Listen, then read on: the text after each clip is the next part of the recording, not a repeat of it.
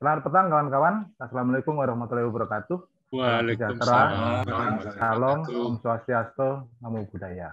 Selamat bergabung untuk rekan-rekan pada obrolan santai di Jumat malam ini yang kita rencana akan selenggarakan secara rutin oleh Kerat, yaitu kerja riset dan analisis Driarkara.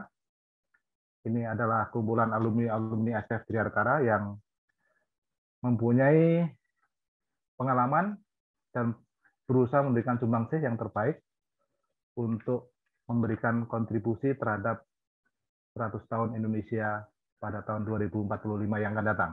Di tanggal 1 Oktober sekaligus Hari Kesaktian Pancasila dan juga hari deklarasinya Kerat sekaligus juga pembukaan rangkaian devosi Bunda Maria untuk yang Katolik dan pada malam ini, Saudara Henry Thomas Marmata akan menyampaikan materi konflik dari pengalaman Irlandia Utara sampai penjara Tapol-Napol, Aceh, Papua, dan Poso. Henry Thomas Marmata sendiri adalah uh, alumni SF Dirgantara dan pernah menjadi ketua Senat. Pernah juga bekerja di Institut Sosial Jakarta, PBHI, dan di UN sebagai yuris sampai dengan sekarang. Waktu dan tempat saya persilakan kepada Henry Thomas Permata untuk menyampaikan materinya. Dan nanti setelah uh, penyampaian materi kita akan sambung dengan tanya jawab. Dipersilakan. Baik teman-teman, terima kasih atas waktu yang teman-teman luangkan untuk kita ketemu. Uh, saya uh, akan cerita sedikit sekitar mungkin paling lama 15 menit nanti kita tanya jawab dan mungkin saling bertukar pikiran mengenai subjek yang kita bicarakan malam ini. Oke, uh, judulnya agak kompleks, tapi moga-moga nanti kita uh, bisa kenal dari ceritanya. Kajian ini menjadi rangkaian dedikasi menyambut 100 tahun Indonesia Merdeka, dan nanti juga diikuti dengan karya-karya teman uh, kerat yang lainnya. Ini teman-teman mungkin tahu ya survei ini ya. Ini survei ini sangat terkenal karena memberikan gambaran bahwa uh, memang konflik itu bikin bingung dan sampai orang tidak punya istilahnya apa ya uh, dan ini ya kalau istilahnya number slice gitu ya jadi statistik slice gitu ya. jadi kadang-kala angka itu me menyederhanakan masalah ini salah satu yang apa uh, terjadi waktu itu dan sampai sekarang Kompas selalu menghindari membuat survei yang membahas mengenai konflik cek aja. Sejak survei ini tidak pernah ada lagi survei Kompas yang meminta pendapat mengenai konflik. Kenapa? Di situ waktu itu saya ingat persis ada dua pertanyaan. Yang satu itu setujukah Anda adanya jalan damai antara pemerintah Indonesia dan GAM? Itu konteksnya adalah TAM MPR, TAM MPR mengenai Aceh dan Papua. Itu sekitar 70% setuju. Lalu setujukah Anda ada tindakan tegas terhadap Aceh? 60% sekian setuju sebetulnya kan 50-50 ini. Tidak ada bedanya sebetulnya. Pertama, cara me mengajukan pertanyaan juga keliru. Yang kedua, cara scoringnya juga menyesatkan. Dan ini mencerminkan kebingungan bukan hanya masyarakat, tapi juga redaksi waktu itu ya. Kalau nggak salah, Mas Budiman ya, Budiman Tanurejo kalau nggak salah. Uh, tapi saya sendiri waktu itu terbuka protes terhadap uh, survei ini. Di mana saya kenal dengan konflik Irlandia Utara. Ini ada Prio juga, uh, mungkin nanti bisa saling cerita, dan ada Atik juga. Menarik sebetulnya, menarik dalam arti sedih ya. Jadi setelah reformasi itu muncul konflik-konflik terbuka dan itu mematikan ya.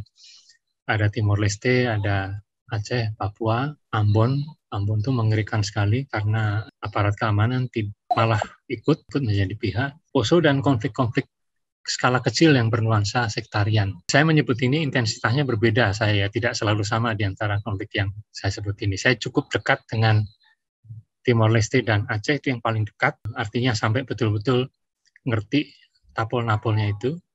Yang berikutnya yang intensitasnya yang mendekati itu Papua. Sedangkan Ambon dan Poso sebetulnya waktu itu dalam konteks saya mengkoordinasi advokasi gitu ya. Lalu juga ada peristiwa yang juga terkenal saya kurang tahu kalau masih bisa diklik di YouTube waktu itu ya.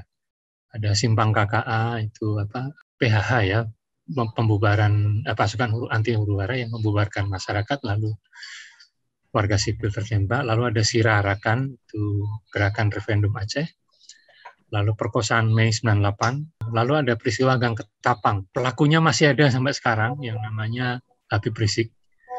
Jadi itu uh, dia pelaku peristiwa Gang Ketapang. Dan ada juga operasi Naga Hijau dan bom BIJ. Jadi peristiwa ini dekat-dekat ya, artinya mencerminkan waktu itu kontestasi kekuatan sebetulnya dengan korban warga sipil. Jadi saya mencari sebetulnya overriding framework itu apa?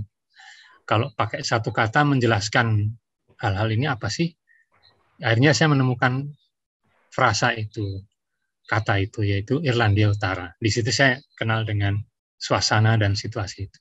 Nah, beberapa treat dari konflik Irlandia Utara artinya yang nanti bisa dicari sendiri di internet tapi saya sebutkan beberapa ini. Yang pertama itu Bloody Sunday yang kemudian diadopsi di lagu YouTube ya, penembakan warga sipil, lalu The Troubles itu uh, konflik uh, yang tidak berhenti, uh, campur antara konflik politik dan konflik bersenjata. Lalu ada konflik diametrikal antara kelompok Protestan Ulster British melawan Irish Katolik dan uh, nasionalis ya. Jadi ini Gaelic Katolik nasionalis. Kemudian ada profesional profesional IRA, kalau bahasa gelingnya IRA, itu saya bersenjata dari gerakan nasionalis di Irlandia Utara. Kemudian ada yang disebut dengan titik cekik, gitu ya. choking choking points ya. Jadi ada yang pertama adalah Derry, eh, itu sebuah kota di pelabuhan di Irlandia Utara. Di situ ada perang kota. Lalu ada London sebagai uh, sasaran sabotase sipil. Nah, Irlandia Utara menjadi salah satu konflik internasional yang paling ruwet dan paling lama. Sampai sekarang uh, masih tetap terjadi tentu dengan skala yang berbeda. Dan juga ada relasi dengan kelompok-kelompok teroris di dunia, misalnya era itu cukup berrelasi dengan kelompok-kelompok bersenjata Palestina, lalu Iran gitu ya. Mereka uh, ada dalam lingkaran itu. Kalau teman-teman kenal dengan film apa uh, Munich itu dan apa operasi Operation Wrath of God itu itu di situ ada cerita sedikit mengenai relasi kelompok bersenjata Palestina dengan IRA itu. Ini gambar dari uh, demo warga sipil awalnya ya. Awalnya itu demo warga sipil. Waktu itu uh, warga Katolik itu kan banyak yang tidak punya rumah. Lalu pemerintah Inggris uh, membuat aturan bahwa yang bisa memilih adalah yang punya rumah gitu ya. Jadi tentu saja mayoritas Katolik tidak bisa vote ya uh, karena yang punya yang punya rumah mungkin hanya sekitar 30 persen, sedangkan kelompok Protestan 90 persen mereka mempunyai rumah sendiri di Derry itu ya. Situasi ini di YouTube ada, jadi nanti bisa ditengok sendiri uh, dokumentasi mengenai Martin McGuinness. Uh, ya ini situasi perang kotanya seperti ini, senjata juga beredar di mana-mana, dibeli dengan sangat mudah. Tadi ada cerita tadi ya mengenai mengalirnya senjata dari Timur Tengah ke Eropa dan sebagainya. Ini ini cukup terkenal, ini Bobby Sands, jadi tokoh nasionalis yang di penjara tapi juga sekaligus dia uh, terpilih dalam pemilihan uh, parlemen. Bobby Sands menjadi ikon karena dia mogok makan ya, jadi mogok makan sampai meninggal waktu itu tokoh-tokoh agama baik Katolik maupun Protestan juga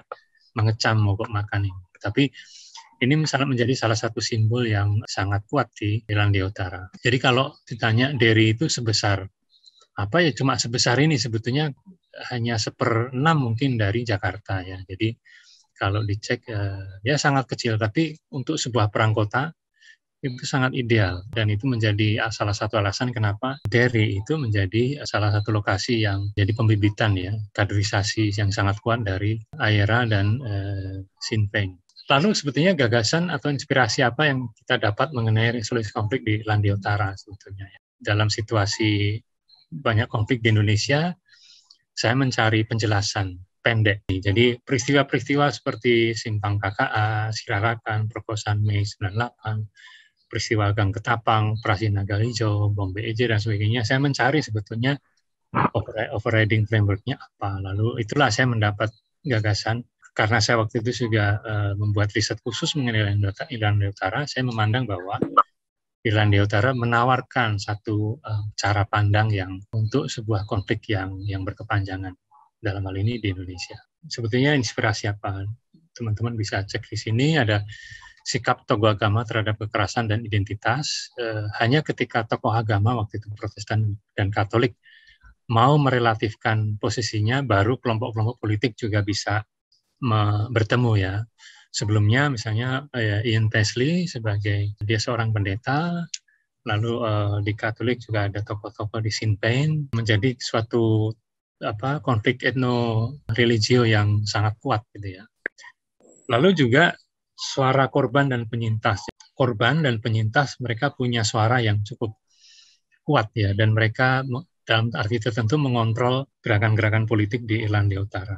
Kemudian ada biaya sosial yang tinggi dalam konflik kedua belah pihak bersama-sama mati termasuk misalnya di kelompok Protestan mereka juga mempunyai sebuah kelompok milisi yang menandingi daerah lalu uh, ya artinya jatuh uh, korban keluarga uh, menjadi sasaran uh, dari uh, sayap sayap bersenjata dari kedua garis politik ini. Lalu muncul juga gerakan sipil anti kekerasan.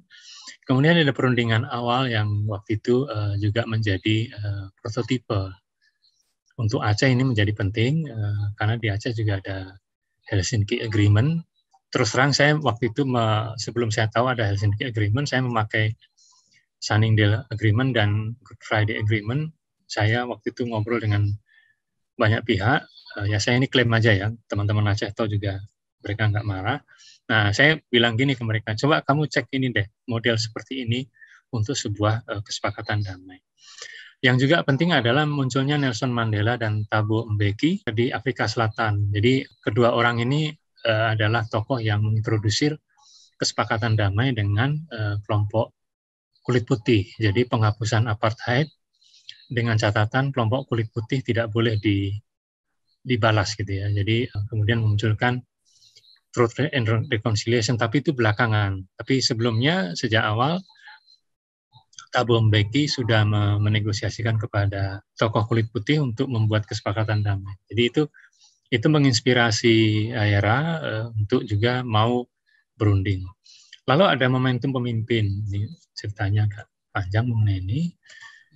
Nah ini kisah dari salah satu negosiatornya ya. Jadi ini gambaran bagaimana seorang milisi yang kemudian menjadi negosiator damai. Korban dari orang yang ada dalam peti ini sampai orang ini meninggal mengatakan begini, saya sulit mengampuni orang ini karena orang ini juga membunuh kakak saya. Jadi saya belum sempat ketemu dengan orang ini. Kalau saya ketemu, saya akan tanya, kenapa kakak saya dibunuh?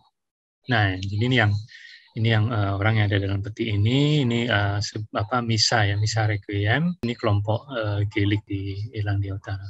Nah, ini orangnya. Martin McGuinness itu salah seorang tokoh saya bersenjata Irlandia, AERA, profesional AERA, jadi saya bersenjata dari kelompok nasionalis, perang kota ya, jadi orang ini mengorganisir perlawanan sipil maupun bersenjata di Derry. Ini salah satu contoh dari yang tadi saya cerita. Yang berbaju biru yang kanan ini adalah anak dari seorang polisi yang dibunuh oleh Ira dan dia menuduh bahwa Martin McGuinness ini apa komandan saya bersenjata nasionalis sebagai yang bertanggung jawab. Jadi dalam doorstep ini eh, Martin McGuinness mengatakan saya eh, tentu berduka dengan meninggalnya ayahmu, tapi saya bukan pembohong, gitu ya kurang lebih. Jadi ini situasi umum yang terdapat di Irlandia Utara antara pihak yang bertikai dengan korban keluarga